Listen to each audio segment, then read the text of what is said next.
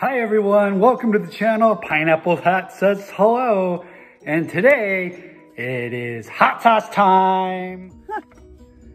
All right, let's give this a shot, guys. Cheers.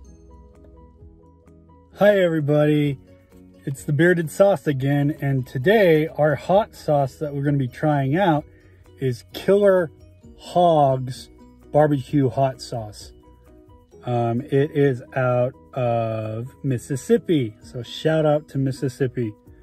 Uh, it says, we know how to spice it up in the South, and this hot sauce has just the right kick.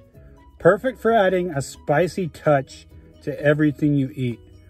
We start with aged red peppers, especially blended with tangy vinegar and hints of garlic to create the best tasting hot sauce around. So the ingredients are aged pepper mash, vinegar, garlic, and salt. Um, I found this at the local grocery store um, and it looked really, really good. So we're gonna try it out. Here we go. Shake it up first.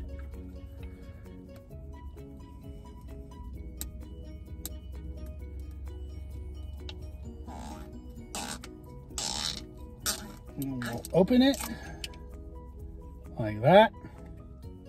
The lid's still on there. All right, let's give this a shot, guys. Cheers.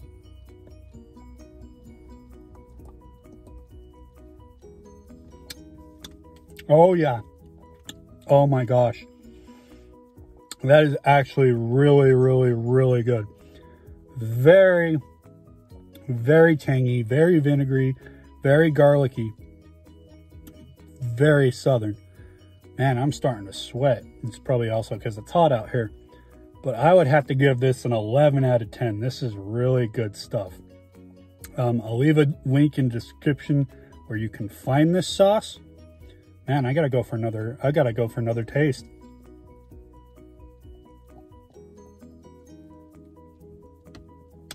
Oh yeah, that is really good. I would definitely recommend that.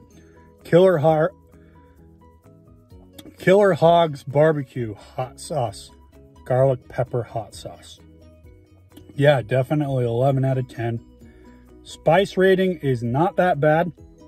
Um, it has a bit of a kick, like it says on the bottle, but it's definitely really, really good. An 11 out of 10, guys. Thank you so much for watching.